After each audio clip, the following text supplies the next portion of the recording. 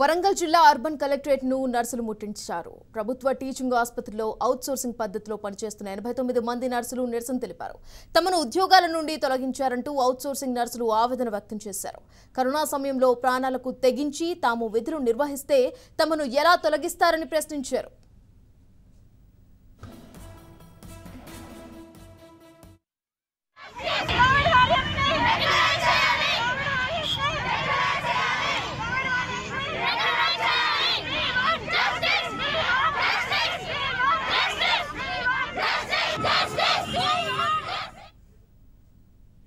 ఇక ఇదే అంశం సంబంధించి మరిన్ని అప్డేట్స్ అందించేందుకు మా ప్రతినిధి సతీష్ ఫోన్ లైన్లో సిద్ధంగా ఉన్నారు. సతీష్.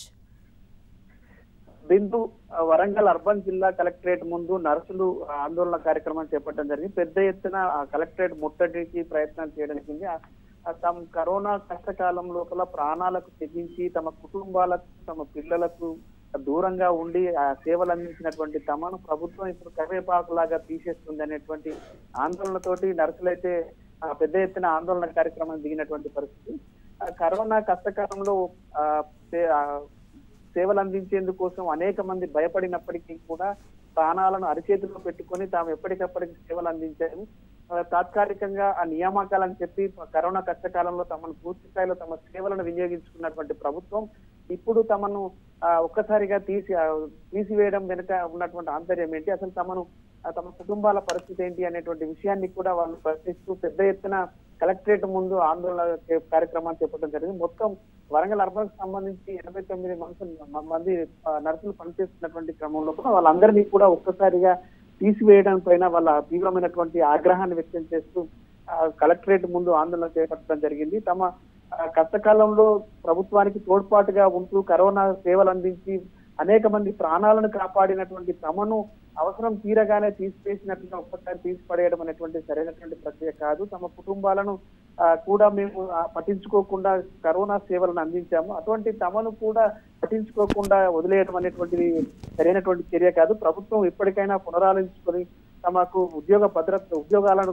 ఏర్పాటు చేయడంతో పాటు సరైనటువంటి వేతనం కల్పిస్తూ ఉపా ఉద్యోగ భద్రత కల్పించాలనేటువంటి డిమాండ్ అయితే నర్సులు వ్యక్తం చేయడం జరుగుతుంది అయితే సతీష్ మనం నిన్నటి నుంచి చూస్తున్నాము లేడీస్ అయి ఉండి మరి నర్సులు అయి ఉండి రోడ్డు మీద అలా ధర్నా చేస్తుంటే ప్రభుత్వానికి సంబంధించిన అధికారులు ఇప్పటి వరకు ఎవరు స్పందించలేదా సతీష్? ఒక పూర్తి స్థాయి లోపల కరోనా కష్టకాలంలో మహిళలు అయినప్పటికీ వాళ్ళ ప్రాణాలను పణంగా పెట్టి ఇరవై నాలుగు గంటలు తమ కుటుంబాలకు దూరంగా ఉండి సేవలు అందించినటువంటి నర్సులు రోడ్డుపైకి వచ్చి తమ ఉద్యోగం గురించి ఉద్యమం చేస్తుంటే ఆందోళన చేస్తుంటే కనీసం వాళ్ళను పరామర్శించి వాళ్ళకు భరోసా కల్పించేటువంటి అధికారులు కానీ నాయకులు కానీ లేకుండా పోవడం వాళ్ళు వాళ్ళను బాధించేటువంటి విషయంగా వాళ్ళు చెప్తున్నటువంటి పరిస్థితి. కరోనా కష్టకాలం లోపల ప్రజల ప్రాణాలను కాపాడేందుకు తమ ప్రాణాలను పణంగా పెడితే కనీసం విశ్వాసం లేకుండా ప్రభుత్వం తమను తీసేస్తే కనీసం తమకు అండగా నిలిచేందుకోసం తమకు భరోసా కల్పించేందుకోసం ప్రభుత్వ అధికారులు కానీ ప్రజాప్రతినిధులు కానీ రాకపోవడం ఏయమైనటువంటి చర్య అని కూడా వాళ్ళు బాధపడుతున్నటువంటి పరిస్థితి ఉంది. Right Satish thank you